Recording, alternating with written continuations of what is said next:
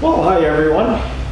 Here we are, uh, June the 9th, 1995 Island Highway, Campbell River, Vancouver Island. Wow, did we have a rain last night or what?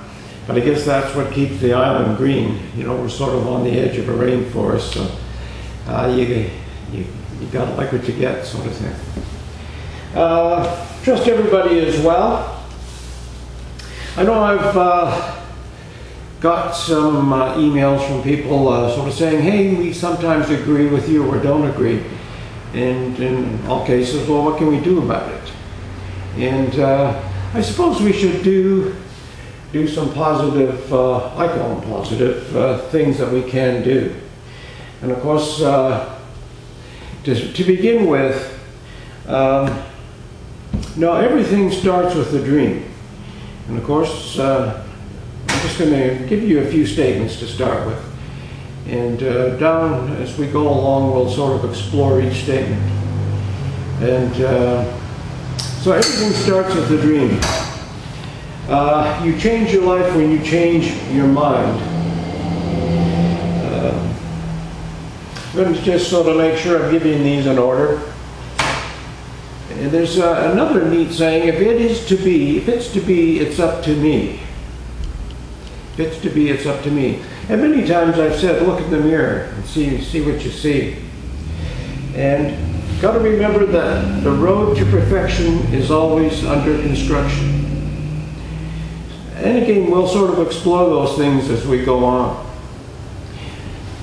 And whether you're, uh, I know I go on about this Black Lives Matter and the systemic racism because uh, I think if one looks in the mirror, you like what you see, and uh, that's where all this sort of starts. Don't let somebody, don't let somebody uh, somebody else's label describe who you are or what you are, because you are what you are. And uh, some of us just sort of follow along with whatever. And then the, with this Black Lives Matter, you know, you look at where most of the destruction was done was done in black communities, black businesses, Chinese businesses, Japanese businesses. Most destruction was done where uh, in the uh, black community where the elderly black people shop in that. And their stores were burnt out and looted. Uh, I mean, just think if Black Lives Matter, why would they do that? And if Black Lives Matter, why would, in the last two weeks, uh, dozens of people be, sh sh black people be shot by blacks and several of them died? Nobody talks about that.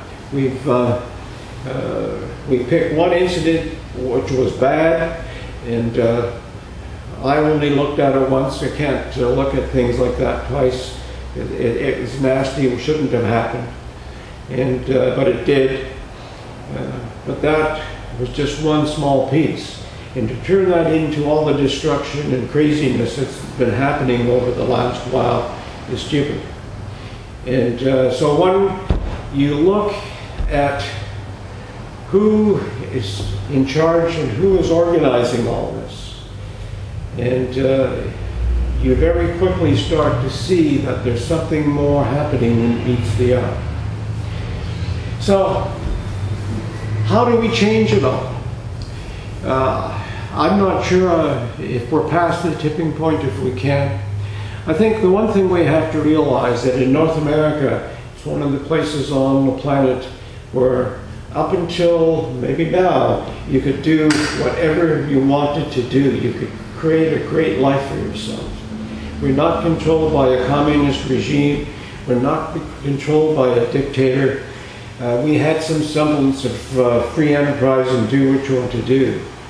Uh, no matter what one thought, thinks of Trump, I mean, that was his idea. His idea wasn't to uh, empower him and get power for himself, his basic idea, uh, supposedly, is to sort of uh, help everybody get back to work and get the get the country, get the country of the U.S. going again.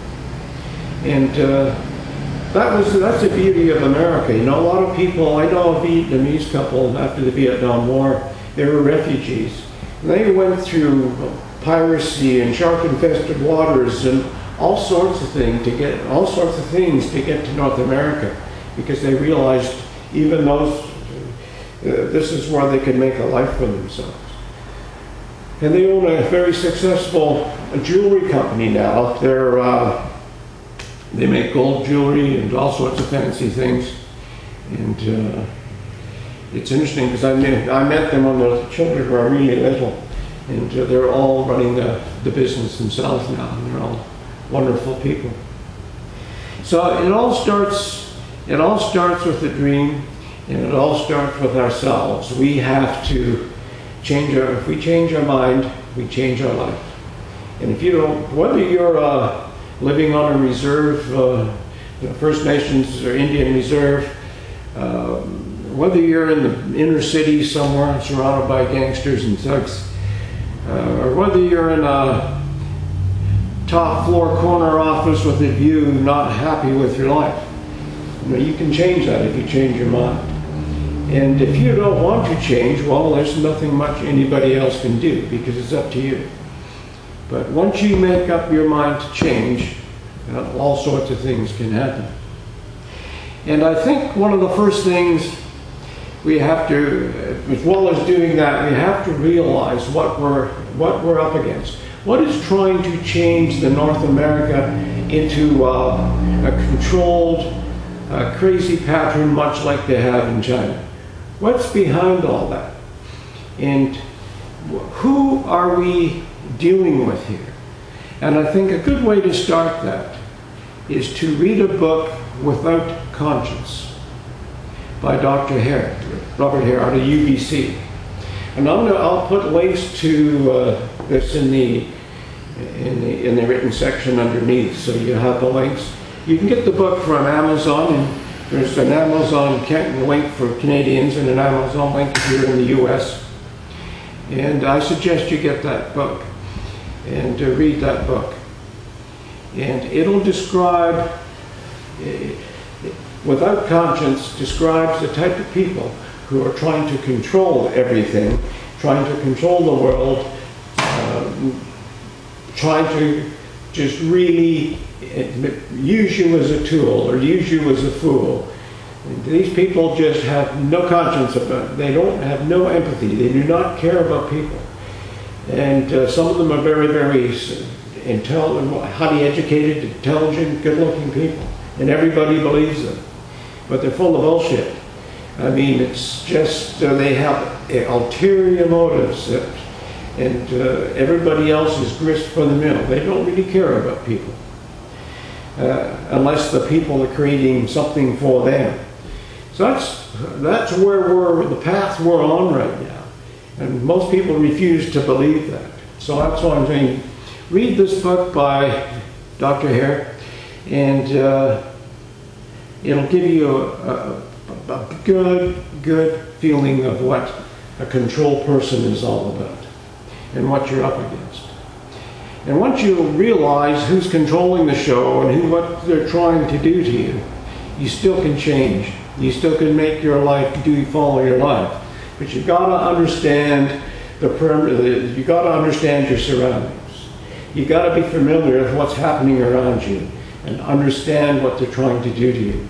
So you don't go marching like an idiot following something that sounds good on the surface, but it's totally different than what you thought it was. Uh, you've got to be able to learn to peel the onion back and take a look at what's, what's really going on. Don't just follow what the main television and newspapers are telling you. Do some research. Don't just follow what some goofballs are saying on the, on, on the internet either, because you've got to sort through this. Like I said, it's, it's uh, you don't change your life by just flipping a switch. And it's not kumbaya city. It's going to take hard work. It's going to take dedication. And it's got you got to wanna. It's got to have a burning desire to become to be to become the person you want to be. And again, I think I mentioned it before. You're the sum total of the five people you hang out most with. So you've got to look around at who you're sort of associating with. You got to pick your you got to pick your heroes, pick your pick your mentors. Don't just sort of uh, follow along with the crowd.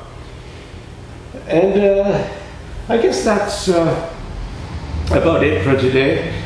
Uh, like I said, I'll put those links in the bottom. And uh, if you want to change your life and want to do things differently, you have to take control. And uh, it, uh, like I said, it's not it's not an easy task. If it were easy, everybody would be doing what they want to do. Uh, it, uh, you cannot you cannot start pointing fingers at everybody else and saying it's their fault or I would do this but for this, this, this, this, this. I mean, there's going to be challenges. It's not easy. But the whole idea is to, to, to become a proactive person, not a reactive person, and to take charge of your own life. And don't give a damn what anybody else says. And I suppose we should add right now too, because there's a, uh, Tesla always referred to that, and a lot of people refer to this, that the whole universe is frequency, vibration, and energy. And uh, energy can, you cannot destroy energy, but you can change its form. Frequency, you can change the frequency of things. Vibration, you can change the vibration of things. So the whole key of this is to get your body in tune with that's what you want to do. And uh, sounds like an impossible task, but it's not. Uh, does it happen overnight? No. Are there shortcuts? No. Uh, is it hard? Yes. Does it matter what color you are? No. Does it matter what uh, religion you are? No.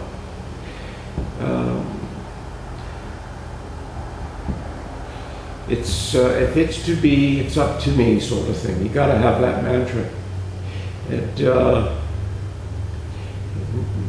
you know, nobody, you're not cut out to be whatever. You cut yourself out to be whatever you want to be, and that is uh, uh, not an easy thing. But it's it's it's totally cool because the price of freedom is high, but uh, freedom is a as free as you can be in this universe of ours is, is a wonderful, wonderful place to be. And uh, the only other thing I think should mind, you know, if you're, there's just a lot of inspiration out there. And uh, pick, just pick people who are leading inspirational lives, not bullshit lives, because there's a lot of that out there. As you read that book without conscience, you'll quickly realize that. There's a test for you to take as well. See where you peg in the system. See where you peg in the system.